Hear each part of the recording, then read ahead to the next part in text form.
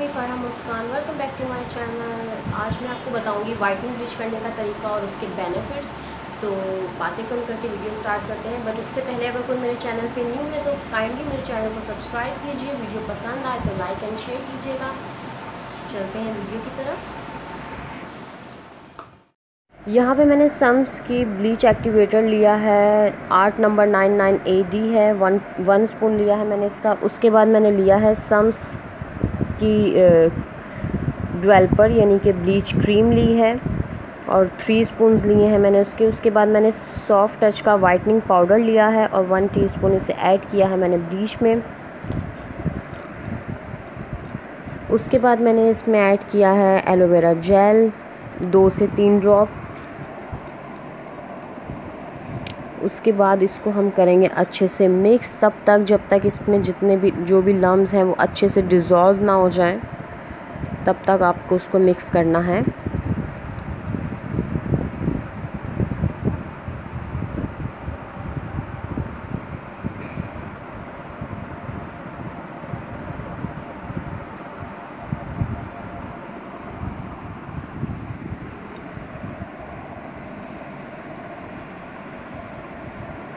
उसके बाद आपको लेना है कोई भी मेकअप रिमूवर मैंने यहाँ पे लिया है एवेलाइन का माइसलर वाटर और ये ऑयल फ्री है। मेक श्योर sure कि आप जिस, जिससे भी फेस को क्लीन करें वो ऑयल बेस ना हो अदरवाइज़ आपकी ब्लीच जो है वो काम नहीं करेगी।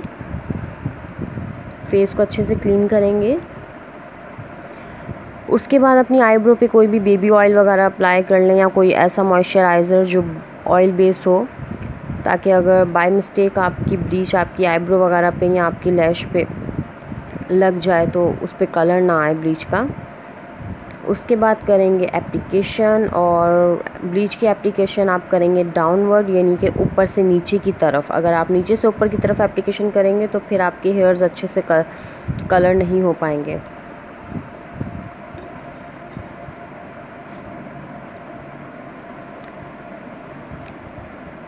फेस पे एप्लीकेशन करेंगे हम और चिक्स को फ़िलहाल छोड़ देंगे क्योंकि चिक्स का एरिया बहुत ही सेंसिटिव होता है और यहाँ पे हेयर्स वगैरह भी नहीं होते तो इतनी नीड नहीं है यहाँ पे।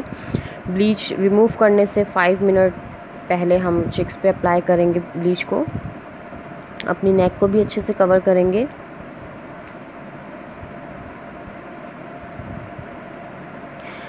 ब्लीच आपके फेस को एक्सफोलिएट करता है, आपके पोर्स को डीप क्लीन करता है और आपके पिगमेंटेशन को लाइट करता है, आपके डार्क स्पॉट्स को लाइट करता है।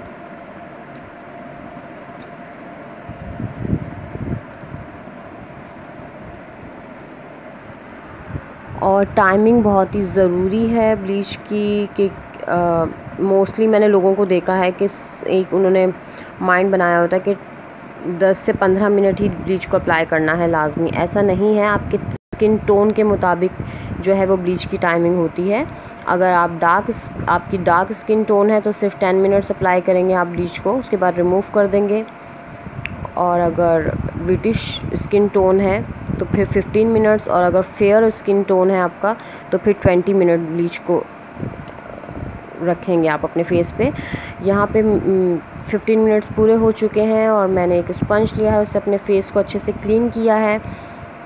अगर आप चाहें तो आप फेस को वॉश भी कर सकते हैं। आप देख सकते हैं कि अच्छे से मेरे बेच फेस पे ब्लीच हो चुकी है। फिर यहाँ पे मैंने लिया है केस कंपनी का सूदिंग लोशन ब्लीच से जो आपकी स्किन पे जलन वगैरह होगी या कोई रेडनेस हो जो होगी तो ये उस, उसको ठीक करेगा, ये आपकी सेंसिटिव स्किन है, अगर तो इसको ज़रूर अप्लाई कीजिएगा बीच के बाद।